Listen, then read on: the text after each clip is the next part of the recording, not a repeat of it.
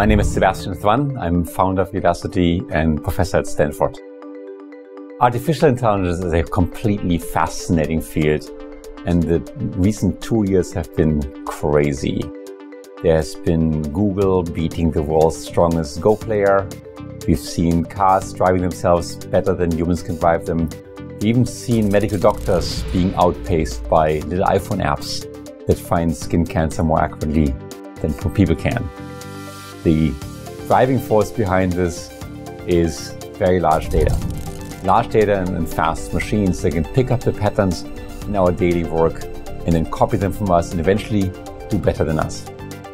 Many of us believe that um, AI will first destroy or take over the low paid jobs, like the taxi drivers, what have you.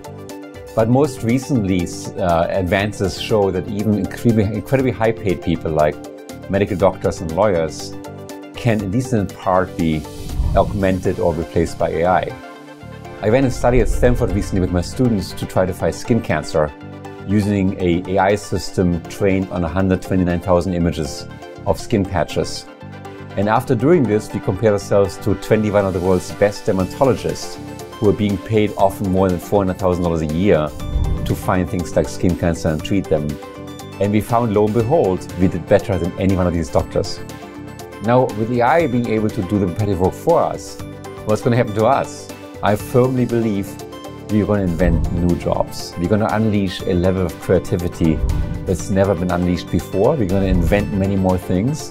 And as a result, we as a society, we as human beings, will go and transition to a phase where we've just never been before.